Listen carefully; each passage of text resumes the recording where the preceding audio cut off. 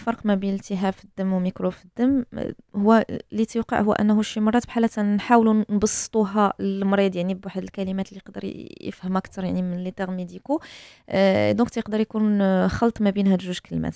alors إلا بغيتي نشرح لك نيت الفرق ما بيناتهم هو من بين يعني الالتهاب الالتهاب أشنو هو؟ الالتهاب هي أي agression أي واحد أي مشكل أه تيطرى لك في الذات ديالك.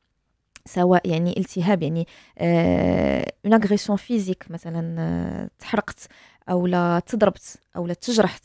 أو لا دخل ليا ميكروب في الذات أو لا خلل المناعة.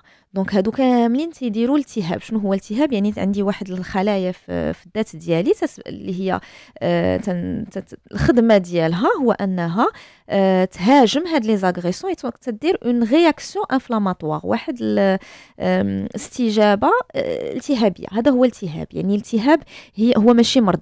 التهاب هو واحد الحاجة اللي تقدر تكون في بزاف الأمراض. donc من بين الأسباب ديال الالتهاب ميكروب. شنو هما الميكروبات؟ ميكروبات هما soit les bactéries soit les virus soit les champignons soit les parasites هذا هو ميكروب. d'accord mais في بعض الحالات donc تيوقع خلط عند الناس يعني تيقدر مثلا آه تيقدر مثلا الله يحفظ سرطان الدم تيقول لك ميكروب في الدم.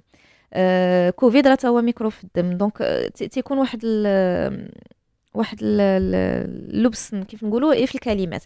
mais هو donc الالتهاب هي واحد الكلمة اللي هي آه، عامة ولا شاملة ديال أنني عندي مشكل في الذات ديالي والذات ديالي تتهاجم شي حاجة.